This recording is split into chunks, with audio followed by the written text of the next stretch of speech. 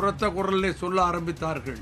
ஆனாலும் கூட நான் இது வருங்காலத்தில் இது வரலாறாக பதிவாகிவிடும் என்ற காரணத்தினால் இது வாக்கெடுப்பு நடைபெற்று அது ரகசிய வாக்கெடுப்பாக நடைபெற்று எத்தனை பேர் எப்படி ரகசிய வாக்கெடுப்பிலே அவருக்கு வாக்களித்தார்கள் என்பதை பதிவு செய்ய வேண்டும் என்பதற்காக இந்த வாக்கு பெட்டிகளை தயார் செய்தோம். இந்த வாக்கு பெட்டிகளை தயார் செய்து இதிலே வாக்குச்சீட்டு இதில் மறுமலர்ச்சி திமுக பணிகள் பணிகளாற்ற திரு துரை வைகோ அவர்களுக்கு வாய்ப்பு வழங்க வேண்டும்.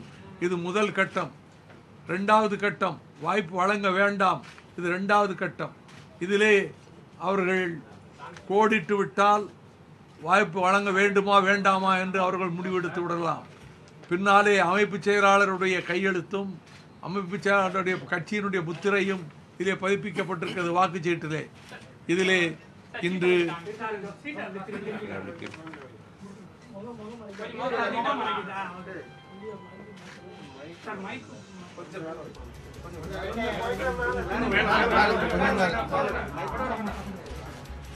ఎంత ఉందండి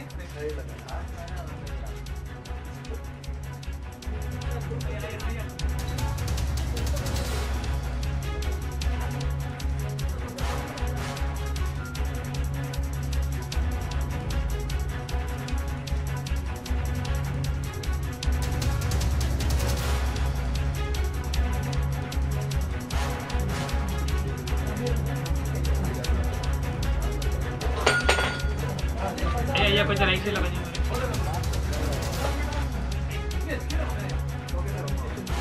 நூற்றி ஆறு வாக்குகள் பதிவாயின.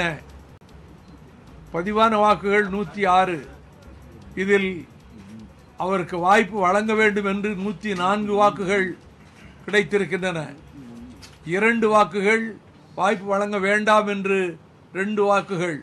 ரெண்டு வாக்குகள் வாய்ப்பு வழங்க வேண்டாம் என்றும் நூற்றி நாலு வாக்குகள் அவருக்கு வாய்ப்பு வழங்க வேண்டும் என்றும் முடிவு செய்யப்பட்டதால் பெரும்பான்மை கருத்துப்படி கட்சி பணி ஆற்றுவதற்கு அவருக்கு வாய்ப்பு வழங்குவதென்று அது நியமன பதவிதான். அதை பொதுச் செயலாளரை நியமிக்கலாம். நான் கருத்து கேட்க வேண்டிய அவசியமே கிடையாது. இந்த வாக்கெடுப்பு நடத்த வேண்டிய அவசியமே கிடையாது.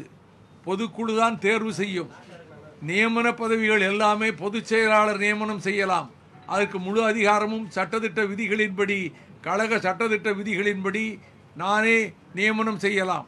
இது கருத்து கேட்க வேண்டிய அவசியமே கிடையாது. இருப்பினும் இந்த கருத்து கேட்டு இந்த கருத்திலே பெரும்பான்மை க- ஆன கருத்து அவருக்கு வாய்ப்பு வழங்க வேண்டும் என்று முடிவு வந்த பின்பு நான் அவருக்கு என்ன பொறுப்பு நான் நியமனம் செய்ய நியமனம் செய்ய வேண்டும் என்கிற போது தலைமை கழக செயலாளராக அவர் நியமனம் செய்யப்பட்டிருக்கிறார். தலைமை கழக செயலாளர் என்றால் தலைமை கழகத்திற்கு வந்து பணியாற்றுவது இங்கே வந்து மடல்கள் கழகத்துக்கு வரக்கூடிய மடல்களை பார்ப்பது ஒவ்வொரு மாவட்டத்திலும் நடக்கின்ற நடவடிக்கைகளை கண்காணிப்பது அவற்றிற்கு அந்த ஒவ்வொரு மாவட்டத்தோடும் தொடர்பு கொள்வது தலைமை கழகம் எடுக்கின்ற முடிவுகளை அந்தந்த மாவட்டங்களுக்கு அறிவிப்பது போன்ற முழுநேர கழகப்பணி பணி அந்த தலைமை கழக பணி செயலாளர் பதவி கொடுத்து இருக்கக்கூடிய அதே நேரத்தில் அவர் சுற்றுப்பயணமும் செல்லலாம். சுற்றுப்பயணத்துக்கும் சென்று வரலாம். எனவே தலைமை கழக செயலாளர் பொறுப்பு அவருக்கு இன்று வழங்கப்பட்டிருக்கின்றது. அப்படி நியமிக்கப்பட்டிருக்கிறார்.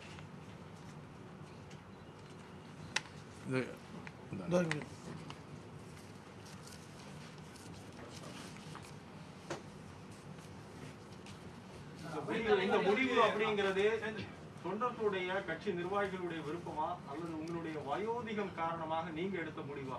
பல விமர்சனங்கள் நான் ஒன்றும் வயோதிகம் ஒன்றும் இல்லை. நான் உங்களை விட இளமையாக இருக்கேன்.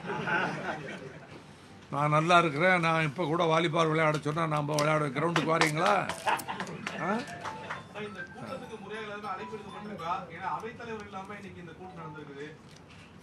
அவர் வரல அவ்வளவுதான். அதை நான் அதுக்கு என்ன செய்ய முடியும்? அவர் வரல. அவர் வரல. இன்னைக்கு கூட்டத்துக்கு வரல. அவருக்கு அழைப்பு அவர் தலைமையில் நடைபெறும்னு சொல்லி அறிவிச்சிருக்கிறோம். அவர் வரல. வரலைங்கும் போது பொதுச் செயலாளருக்கு அந்த அதிகாரம் வந்துடுது சார் வாரிசு அரசியல் அப்படின்ற விஷயத்தை எப்படி பாக்குறீங்க சார் இந்த நேரத்தில்? இது வாரிசு அரசியலே கிடையாது. மதிமுகவின் தலைமை கழக செயலாளராக திரு. துரை வையாபுரி நியமிக்கப்பட்டிருப்பதாக மதிமுகவின் பொதுச் செயலாளர் திரு வைகோ தற்போது செய்தியாளர்கள் மத்தியில் தெரிவித்திருக்கிறார். இது தொடர்பாக தன்னுடைய கருத்துக்களை நம்மோடு பகிர்வதற்காக திரு துரை வையாபுரி நம்மோடு தொலைபேசி வாயிலாக இணைந்திருக்கிறார்.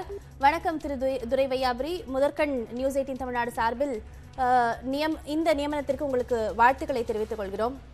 இந்த பொறுப்பை நீங்க எப்படி பார்க்கறீங்க? உங்களுக்கு உங்கள் முன் இருக்கக்கூடிய அடுத்த கட்ட பணிகள் என்ன?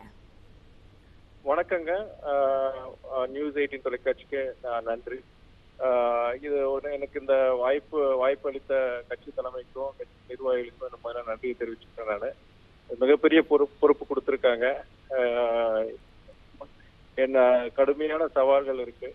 என்னால் முடிஞ்ச வரைக்கும் கட்சிக்கும் நிர்வாகிகளுக்கும் தொண்டர்களுக்கும் ஆற்ற வேண்டிய பணிகளை கண்டிப்பா நான் நாள் இன்னிலிருந்து தொடங்க வேண்டியது இருக்கு.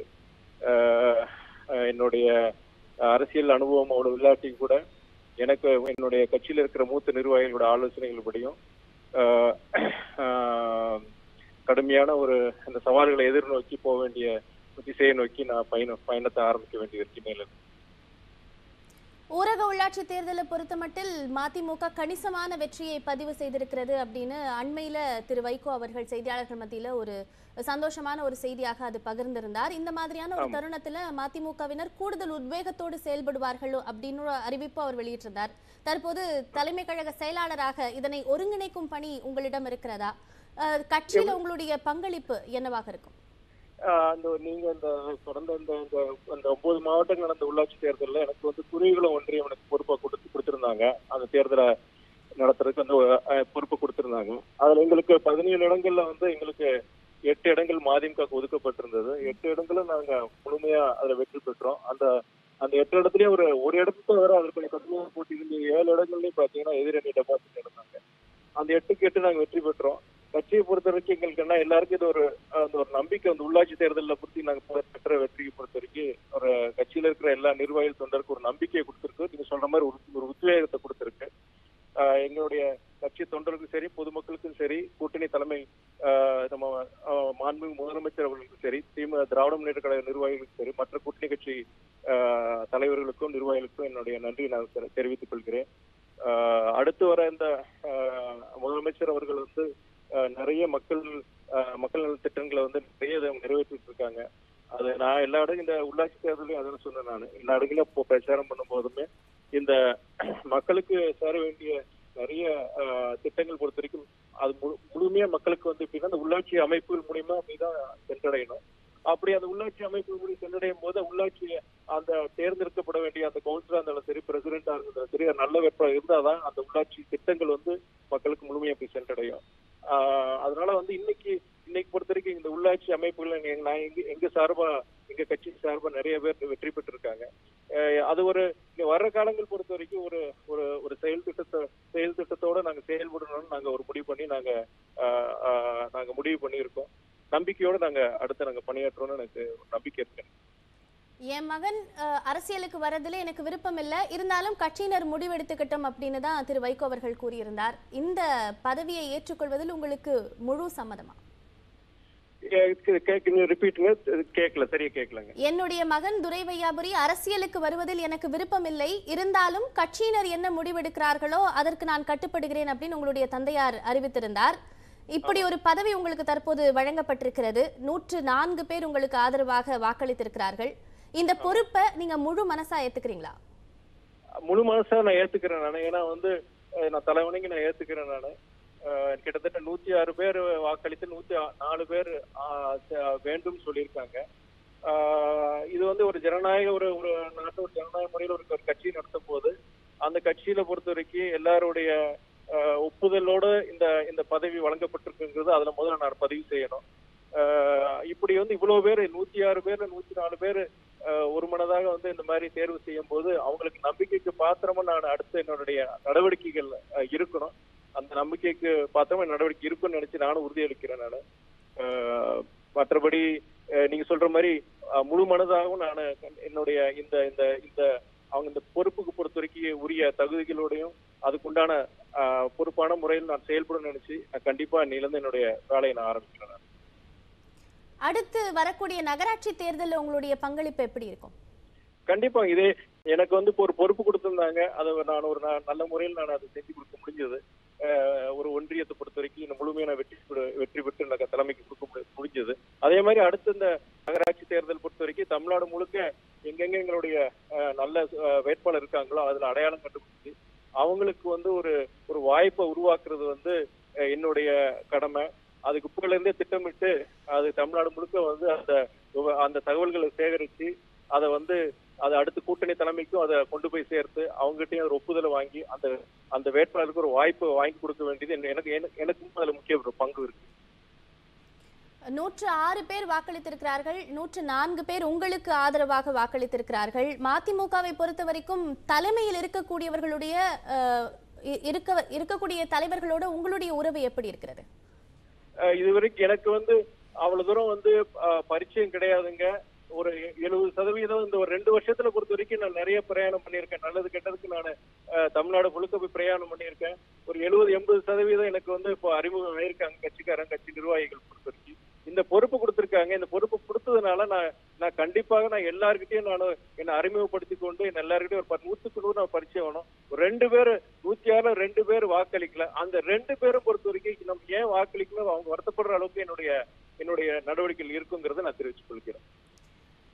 திரு வைகோ அவர்களின் மகன் துரை வையாபுரி அப்படிங்கிறது உங்களுடைய உங்களுடைய பிரதானமான அடையாளங்களுள் ஒன்று. இத வாரிசு அரசியலா மக்கள் அல்லது மதிமுகவின் அடிமட்ட தொண்டர்கள் பார்க்க வாய்ப்பு இருக்கிறது? அது வா- வாய்ப்பு கிடையாது. அதனாலதான் இந்த இந்த பொறுப்பு கூட இது நியமன பொறுப்பு தான் இது வந்து அவர் தலைவர் நினைச்சிருந்தாருன்னா நியமனம் பொறுப்பா வந்து அறிவித்திருக்கலாம். அப்படி இருந்துமே கட்சிக்காரங்க எல்லாரையும் கூப்பிட்டு இது ரகசிய வாக்கு இது வந்து ரகசிய வாக்கு சீக்ரெட் பேலட் தான் எடுத்தாங்க. ரகசிய வாக்கெடுப்பு தான் எடுத்திருந்தாங்க. யார் வேணா அவங்களுடைய அவங்க என்னபடி இதுல அவங்க வாக்களிச்சிருக்கலாம். அதனால வந்து இந்த ரகசிய வாக்கெடுப்பு எடுத்து இது உங்களுடைய உங்களை மாதிரி பத்திரி பத்திரி ஊடகங்கள் மூலியமா இதை தெரிவிச்சு இதை அவங்க நடத்தியிருக்காங்க. அதனால வந்து இதுல வாரிசு அரசியலுக்கு இடமே கிடையாது. வாரிசியல் அரசியல் திணிக்கப்படுறதா வாரிசு அரசியல் நான் கருதுறேன். அது எங்களுடைய நிர்வாகிகளுக்கு தொண்டர்கள் கருதுறாங்க. இன்னொன்று பாத்தீங்கன்னா நான் அடுத்து மக்கள் மக்களும் அது வந்து மக்களை ஏத்துக்கக்கூடிய நான் நான் எங்களுடைய தொண்டர்கள் நிர்வாகிகள் நிறைய இடத்துல சொல்லியிருக்கேன். என்ன சொல்லியிருக்கேன்னா நீங்க என்ன ஏத்துக்கிட்டா கூட ஜனங்க ஏத்துக்கணும். ஜனங்க ஏத்துக்கிற அளவுக்கு என்னுடைய செயல்பாடுகள் இருக்கணும். என்னைக்கு அப்படி ஒரு வரும்போது நான் ஒரு புதிய ஒரு பதவிக்கு வருவேன் நான் சொல்லியிருக்கேன் நான். இந்த என்னுடைய அடுத்த கட்ட என்னுடைய நடவடிக்கை என்னுடைய பொது வாழ்க்கையில் என்னுடைய பயணத்துல வந்து நான் ஒரு அதுக்குண்டான தகுதிகளை நான் வளர்த்துக்கிட்டு நான் ஜனங்களுக்கு மக்களுக்கு ஆற்ற வேண்டிய பணிகளை ஆற்றும் போது கண்டிப்பா வந்து அந்த மக்களோட ஏத்துக்குவாங்க. அது காலப்போக்கில் ஒரு ஜனநாயக நாட்டுல வந்து ஒரு தேர்தல்னு ஒன்று வைப்பாங்க. அது வந்து அதுல வந்து மக்கள் தேர்ந்தெடுக்க போறாங்க. அதுல வந்து நம்ம வாரிசு அரசியல் சொன்னாலுமே அந்த வாரிசு அரசியல் பொறுத்த வரைக்கும் திணிக்கப்பட்டத வாரிசு தவிர அந்த அந்த மக்கள் அந்த அந்த ஒரு அந்த வாரிசுக்கு பொறுத்த வரைக்கும் அந்த உண்டான தகுதிகளை பொறுத்த வரைக்கும் அவரை அவர் வளர்த்துக்கிட்டாலோ இல்லாட்டி வந்து அவரு அதை அதுக்குண்டான தகுதி உடையவரா இருந்தாலுமே அது வந்து என்னோட என்னுடைய இது பொறுத்த வரைக்கும் தவறு தான் எனக்கு படுது எனக்கு. நன்றி திரு துரை வையாபுரி இணைப்பில் வந்து பல்வேறு கருத்துக்களை பகிர்ந்தமைக்கு மீண்டும் ஒருமுறை உங்களுக்கு வாழ்த்துக்கள் நியூஸ் எயிட்டின் சார்பாக. இடைவெளிக்கு பிறகு செய்திகள் தொடரும்.